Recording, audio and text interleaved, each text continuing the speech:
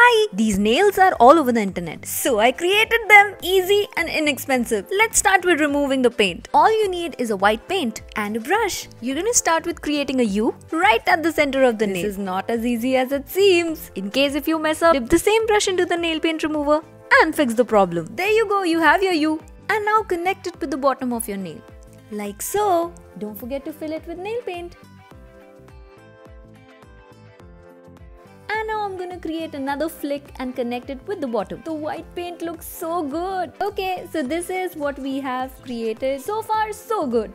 Now repeat this on the other side. You can create as many flames as you want. After adding the final touches and cleaning up any messes, the final step is to apply top coat. And there you go, your Pinteresty nails are ready. Okay, bye.